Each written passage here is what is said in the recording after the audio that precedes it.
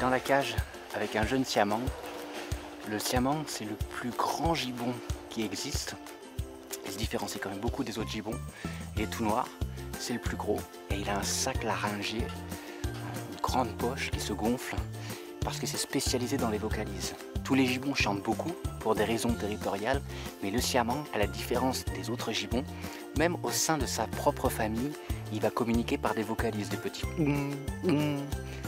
ça qu'en fait il a développé cette poche, mais il a un visage beaucoup moins expressif que tous les autres gibbons.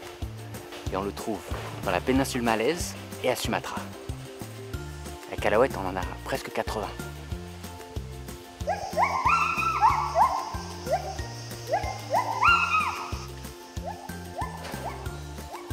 Et là, c'est un jeune qui est encore en quarantaine. Et bientôt, il sera mis en couple. pour un jour retrouver la liberté.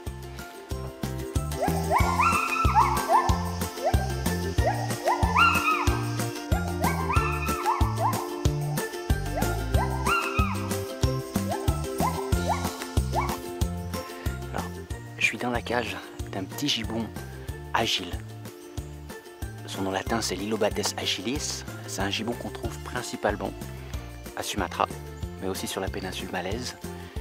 Et en fait, le petit gibbon avec qui je suis, il a environ 3 ans, il n'est pas très content que je sois dans sa volière. On l'entend. Et en fait, ces gibbons, ils peuvent être noirs comme lui, ou quasiment blancs, beige très très clair, avec toutes les déclinaisons entre ce noir très foncé et ce blond très clair. Et en fait, c'est la même espèce.